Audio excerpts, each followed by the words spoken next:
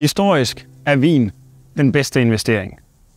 Er du nysgerrig på vin som alternativ investering? I denne video kommer jeg til at give en gennemgang af vin som investering og hvordan en portefølje bygges i samarbejde med Where Invest. Mit navn er Rune Splid. Jeg er kommersiel direktør hos Where Invest og har til dagligt ansvaret for vores kontor i Sverige, Italien, Holland og naturligvis her i Danmark. I porteføljegennemgangen og opbygningen af selvsamme stiller vi nærmere på områder og de respektive vine, som bygges i samarbejde med de eksperter, der sidder og bygger vinporteføljer hver eneste dag. Foran mig her har vi en enestående vinportefølje fra en af vores investorer. Vi har noget Bourgogne, vi har noget Champagne, og vi har en position i noget italiensk vin. En typisk vinportefølje hos Rare Wine Invest er sammensat fra 40% Bourgogne, 30% Champagne og 15% italiensk vin. De resterende procentsatser kan være fordelt mellem amerikansk vin, whisky eller sågar noget Bordeaux. Lad os prøve at dykke ned i vinporteføljen foran mig. Hvis Henri Chavert var kongen af Bourgogne, så er Madame Leroy dronningen. Den mest magtfulde kvinde i vinens verden. Enestående vinproducent. Og noget af det mest eksklusive vin, man overhovedet kan finde i vinens verden. Det her, det er hendes Beaumont 2011 fantastisk vin, men det væsentlige i forhold til vininvestering er ikke nødvendigvis årgang 2011 fra Loire. Fordi det er nemlig underordnet.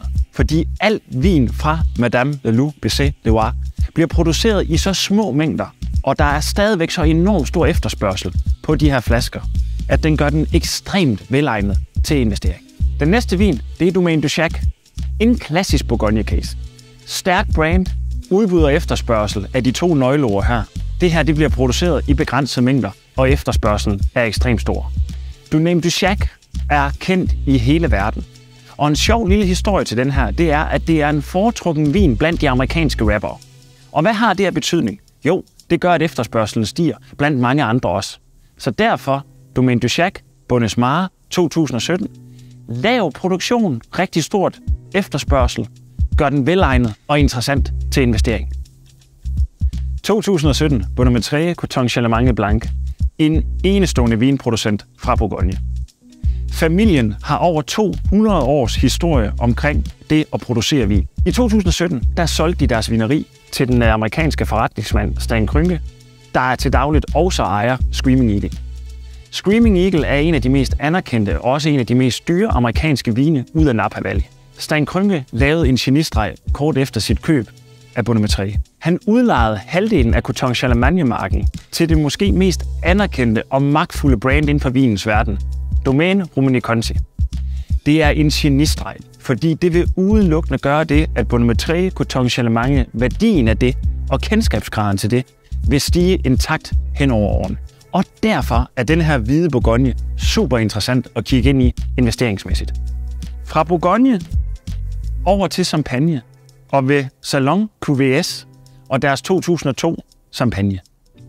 2002 kan sammenlignes med den måske største årgang af dem alle, 08-årgangen. Det interessante ved Salon, det er, at der findes ikke dårligt produceret champagne fra Salon. Salon gør nemlig det, at de kun releaser champagne, når de har med exceptionelt gode druer at gøre. Og det gør, at investeringscasen på Salon er ekstremt interessant. Videre i champagne og videre til en magnumflaske fra Louis Røders prestigekevæ Kristal. Kristal har en enestående historie. Det var den russiske zars foretrukne champagne. Han havde et krav til Louis Røder. Det var, at flasken var klar. Så han hele tiden kunne tilsikre sig, at der ikke blev proppet noget i flasken i så som forgiftning eller lignende.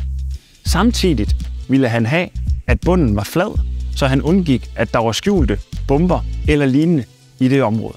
Det har Lys Rødder valgt at holde fast i selv den dag i dag. Det er stadigvæk den klare flaske og den flade bund, der gør sig gældende på samtlige flasker. Kristal bliver produceret fra deres bedste Grand Cru-marker, fordelt på syv forskellige kommuner. Så har vi jo med en magnumflaske at gøre. Det vil sige, at der er bedre læringspotentiale, og derfor er det rigtig, rigtig spændende at kigge ind i investeringsmæssigt i fremtiden.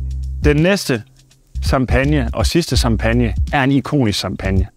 Det er måske den, det største af det største inden for champagne. Det er kryg. Det er samtidig fra deres enkeltmark Clødemenil, hvilket gør det her til creme med creme inden for champagne. Præcis som Salon gør det så også gældende for, for Kryg, at de kun producerer i de bedste årgange. Der bliver produceret fra en årgang, de releaser, omkring 12.000 flasker.